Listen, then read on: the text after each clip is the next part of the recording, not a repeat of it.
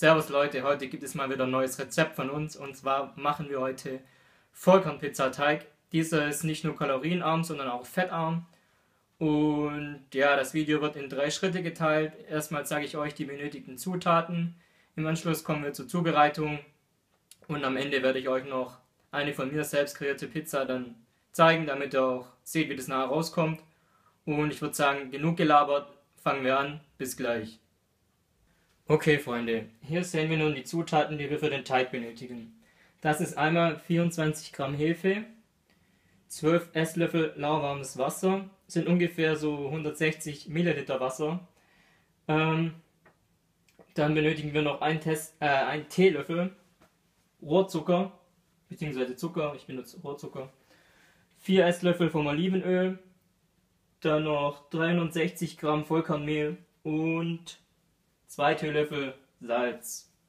Genau, das sind die Zutaten und im nächsten Schritt sehen wir dann, wie wir den Teig zubereiten. So, also kommen wir zum ersten Schritt der Zubereitung, dem Vorteig. Und zwar geben wir da die 24 Gramm Hefe. Ich habe hier frische Hefe genommen und habe die schon etwas zerkleinert. Ähm, in die Rührschüssel. Dann kommen die 12 Esslöffel lauwarmes Wasser hinzu. Wie gesagt, ungefähr so 160 Milliliter Wasser. Und dann noch ein Teelöffel vom Zucker. Und dann verrühren wir das Ganze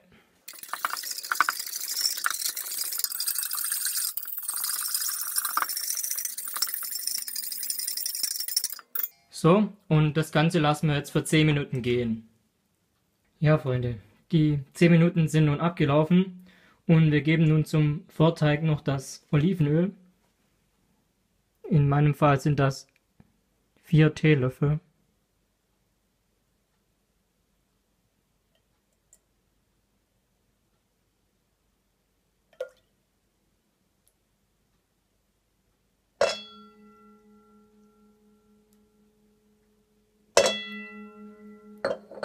So, und nun verrühren wir das Ganze nochmal.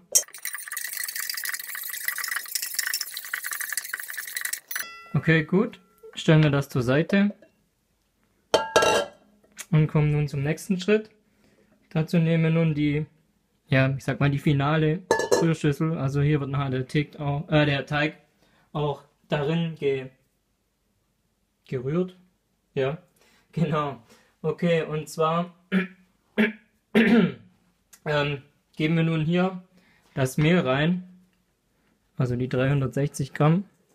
Zack. Und noch das Salz. Und zwar waren das, ja, bei mir hier in dem Fall zwei Teelöffel. Genau. Ich rühre das Ganze auch nochmal kurz etwas.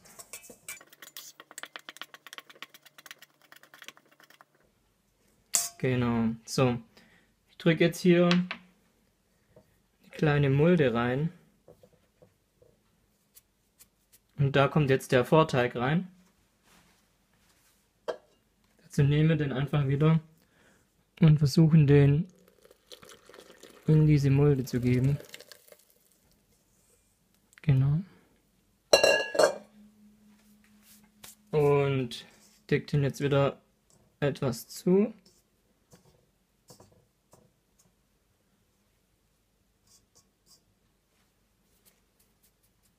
So.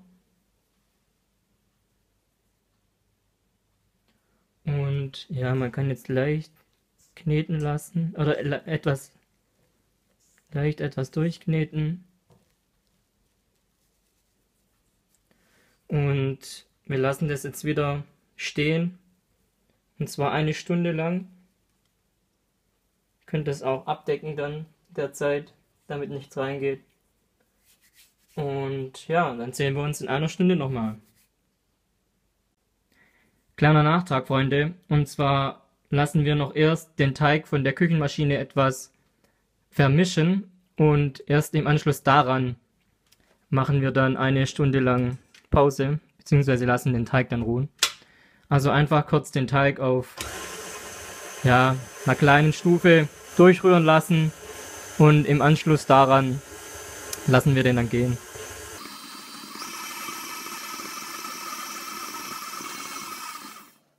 So.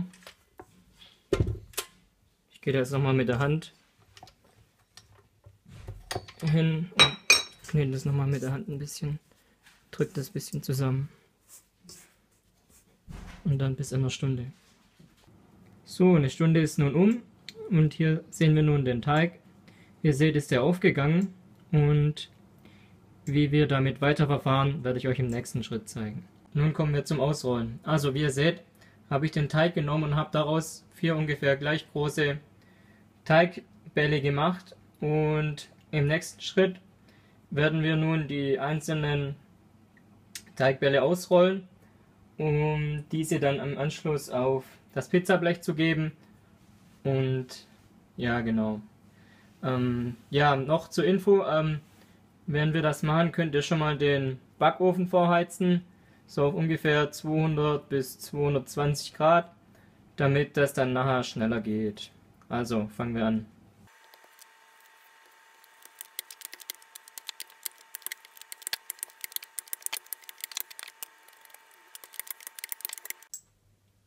Ja, Freunde, kommen wir zur Tomatensauce und dazu benötigen wir folgende Zutaten. Einmal eine Dose mit Pizzatomaten, dann eine klein gehackte Zehe Knoblauch, ungefähr zwei Drittel einer Zwiebel klein gehackt, als Gewürze etwas frischen Basilikum und eine Pizzakräutermischung. Diverse andere Kräuter, die ihr gern mögt, könnt ihr natürlich auch reinmachen.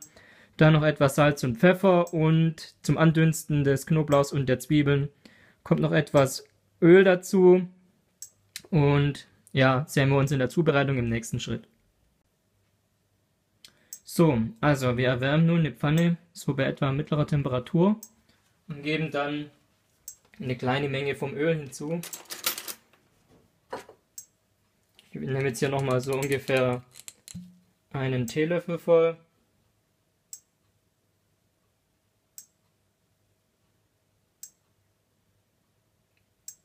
Ja, das reicht schon. Das kann wieder zurück.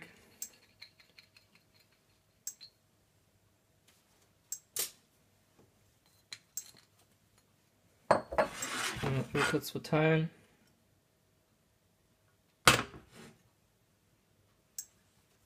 Und ich mir mal noch ein Werkzeug zum Rumrühren. Also Jetzt warten wir noch kurz, bis das Öl warm ist. Das passt ungefähr. So, und nun geht man den Knoblauch hinzu und auch die Zwiebeln.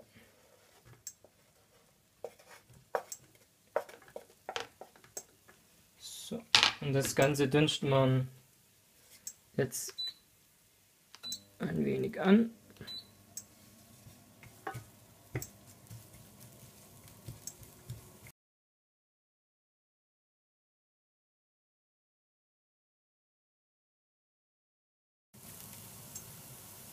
So, der Knoblauch und die Zwiebeln sind nun genug angedünstet. Nun können wir die Pizzatomaten hinzugeben.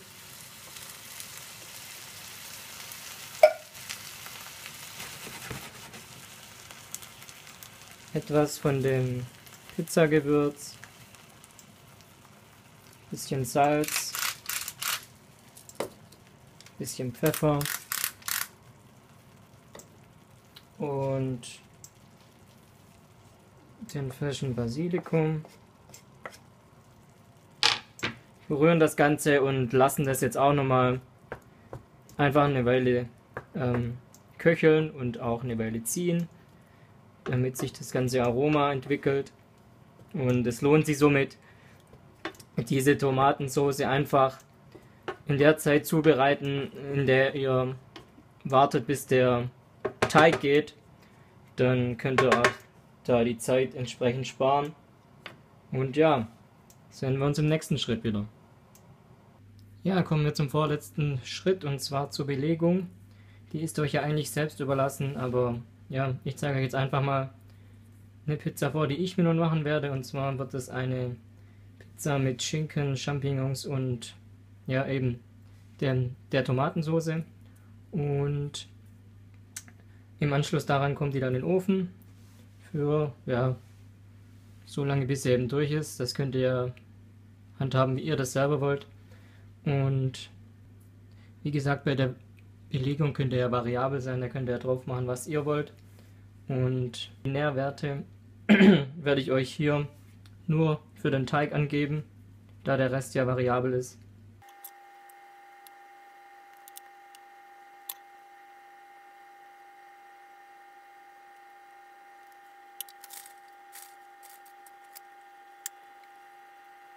Ach ja, kleine Anmerkung noch. Der Käse, den ich verwende, ist ein, so ein Reibekäse, so auf Fett reduzierter Basis. Hat hier auf 100 Gramm.